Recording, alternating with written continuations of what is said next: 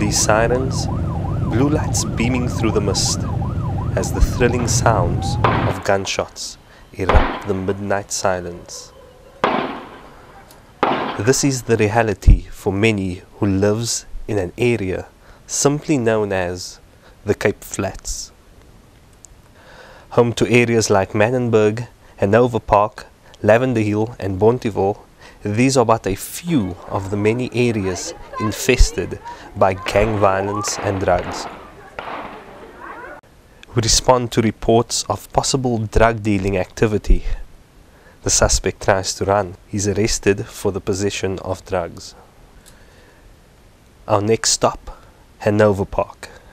A search warrant for a suspected drug house, but suspects seem to have flushed the drugs down the toilet. Like these have sadly become a norm and happens on a daily basis.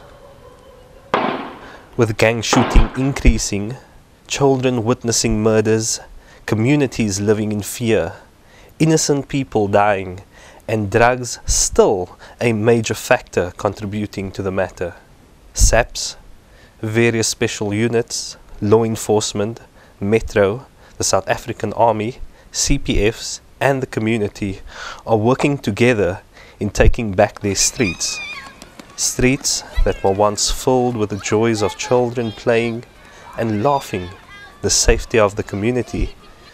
Sadly, a scene that many Cape Flats children can only dream of for now. For ITV News, Chad Solomons, Cape Flats.